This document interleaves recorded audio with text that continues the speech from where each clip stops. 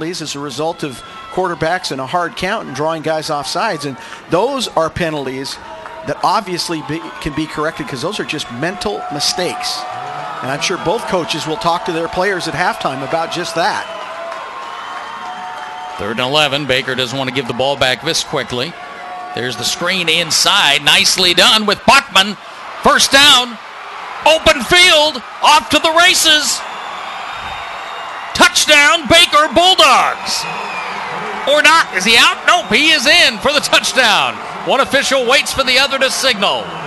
67 yards. Well, as soon as we talk about who the main man is, Braden Phillips finds that main man. And look at this little inside screen, perfectly executed. And watch as Bachman now, the little jump step and the little slide step. And then once he gets outside, he's run by everybody. They're not going to catch him. And this is one of the reasons why he's had over 1,400 yards of receiving because it's not just been deep passes, but he's able to take screens for a long game. Extra point is blocked.